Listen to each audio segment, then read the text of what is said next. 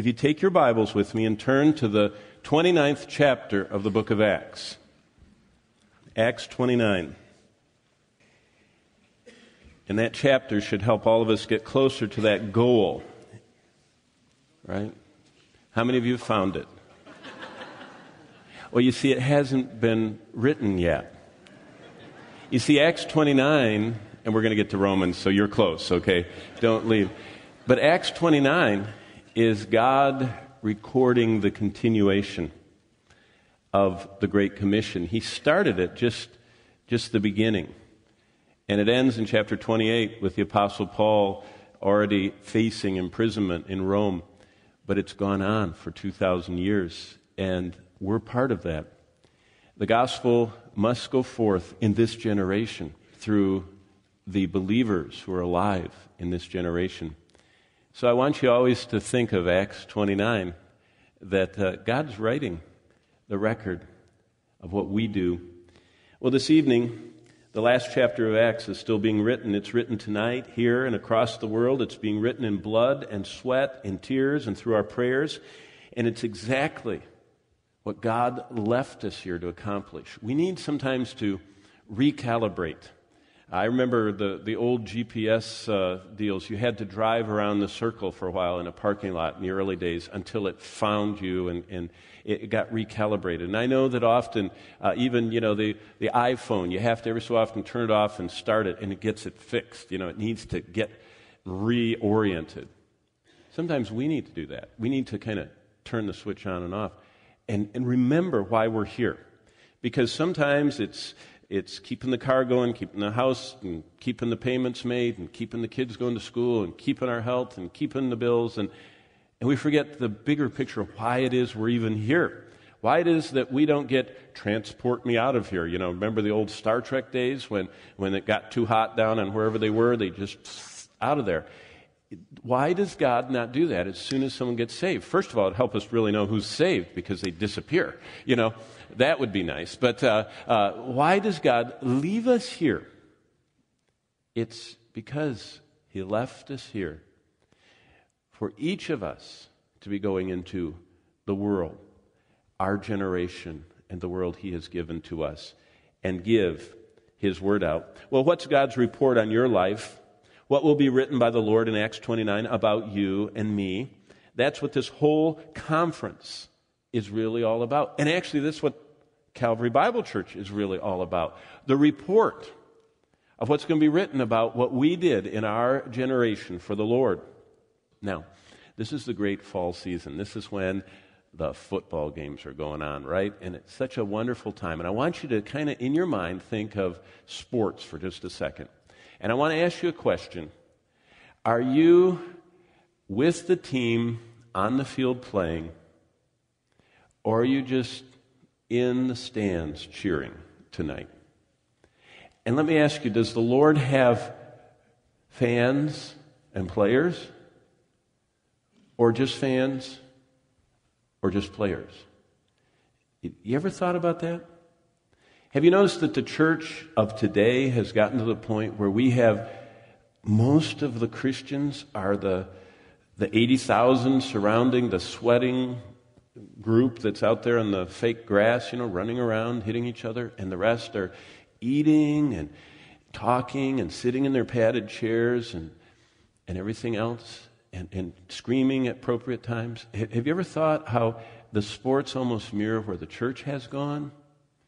That we have our superstars and we pay them a lot of money and they do all the work. And, and we know, it, you know, it costs 200000 to have one in Japan and it only costs, you know, about 40000 to have one in, in another part of the world. And these are our missionaries and we, and, and they're doing it. And then in America, we have the same thing. We have these highly trained professional people that we pay a lot to do the work. And we support them. And they do it. And we're in the stands and we love them and cheer them on. In fact, we even collect the sports cards. Missionaries pass them out. You know, has their picture and their stats on it. We collect them. Did you ever think about that? It's, it's just like that. It's amazing. Well, we are now at the moment of the actual game, and that means that, that we each need to think about the whole participation we have. I used to be on the Haslett football team, so I, many years ago, I still have a scar right there. That's before they had this and, you know, all that stuff. They used to, football helmets were dangerous back then. They didn't have all these extra contraptions. It was pretty rugged back then. And so I really got bashed one time, broke my teeth and everything. But I recently told my boys about my early days when I was on the Haslett football team. Over the years, various coaches would come in and address us. And what they would do is they'd come down to those smelly locker rooms. That's before they knew about staff and, uh, you know, uh, let's see, what is it called? Vancomycin resistant, you know, MRSA and VRSA and all these horrible things that are everywhere. It was before they knew about all that. And they'd come down there, those smelly locker rooms, and they would fire us up. Any of you that were in old fashioned sports, there were some of those that could really do it. And they'd get us fired up, and, and we would get so excited, and we'd go out to, to go work ourselves to death. We had shown our dedication by joining the team. We worked out most of the summer in the heat before we knew that could kill you if you didn't drink enough water. We ran endless miles of gut wrenching cross country up and down the hills. I can remember always the worst hills we had to go up and down. We practiced plays until we could do them instinctively. I remember that you'd run and turn and twist, and it was just, I mean, when you heard that number, you just did it, you know, whatever you were doing. It just, that was just became an instinct. But when that man came down to the smelly locker room, we were at the actual moment of truth. Fired up meant we were to get even more fully engaged in the game. We were committing to play our best, to sacrifice our strength and even our comfort by playing harder. And we committed right there in the locker room not to lose our focus, that we would remember the plays we were taught, that we would unselfishly work together as a team and wouldn't be the ball hog, you know, and the one that wanted all the credit and the glory and the glamour. And all I'm describing is just basic team athletics, team sports. And it doesn't matter if it's football or if it's basketball or if it's baseball or whatever. It is that hard work together. Well, in college days, after my great career in high school, I moved to a different kind of sports involvement. I kind of learned from my pains. I became a spectator and a fan of sports. Again, the stands, uh, all of us in the stands were encouraged to get fired up for the game. This involved we would wear the team colors, we'd put uh, out our money and get season passes, we'd schedule our Friday nights or Saturdays to not miss any games. We actually would come to all the games. We would sit together with our side, we would pay attention to the game. We knew the other team members, we cheered at the right times, and we were very loud and supportive in whatever they wanted us to do. Some of the more on fire folks would not only do all that, but they would went further by even dressing and painting their faces with team colors and symbols. They would bring big banners. Some of them would get there early. And generally, they would be everywhere cheering, jumping up and down, and carrying on. And that's the familiar setting for most of us. In fact, the majority of sports and athletic events are pursued by the minority, the athletes, and they're cheered on by the majority, the fans. And that's where we've gotten to in ministry today, I believe. It's just like the sports. I have two questions for you this evening. And the two questions are first, where are you in the game tonight?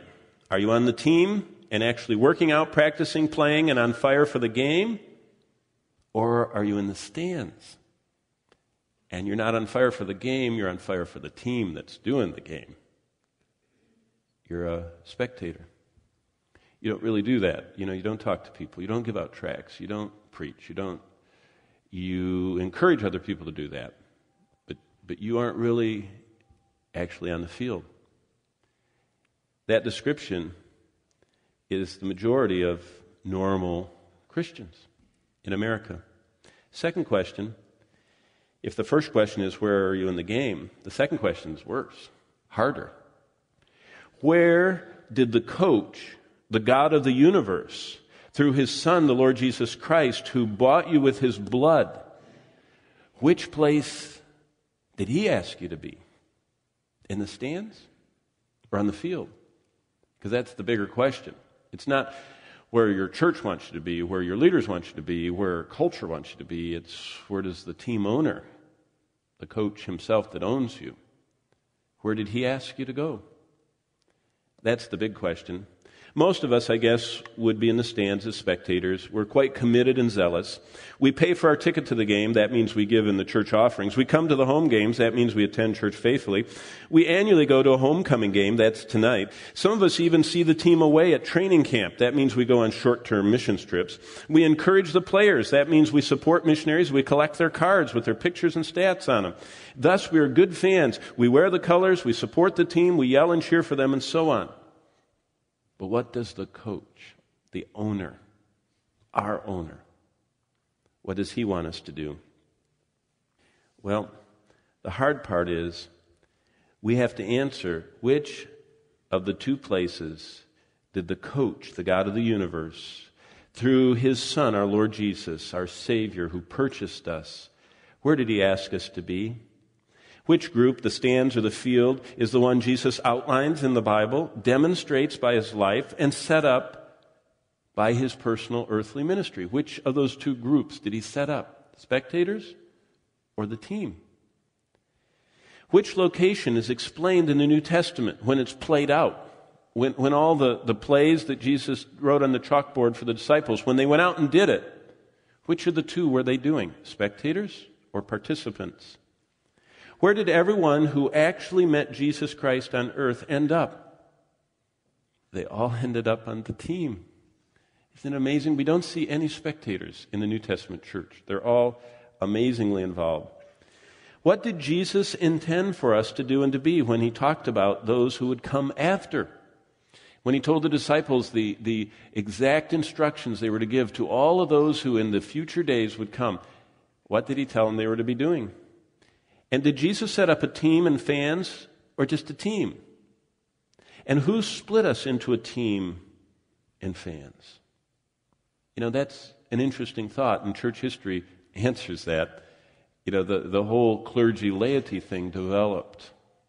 And the laity were told, you don't, you know, you can't do the holy stuff, and you just give, and we'll do the holy stuff, and you give your money, and we'll do it. And that dichotomy has persisted amazingly. Well, the history of the game and the rule book, God's Word, has a clear answer. Jesus Christ our Lord set up a team that actually practiced, worked out together, played all the games, and so on. And there was only a team. There were no non participating, non players who could just cheer and come and watch and stand on the sideline and enjoy the game. In other words, there were no first century spectators. Everyone was on the team, and they all cheered each other on from the field not from the stands. Isn't that an amazing thing to think about? Just think how much the tickets would cost to be able to be on the field, you know, at the Super Bowl and, and all that. I mean, I know they cost a lot in the stands, but can you imagine? And, and we get invited to be on the field in the greatest game of all.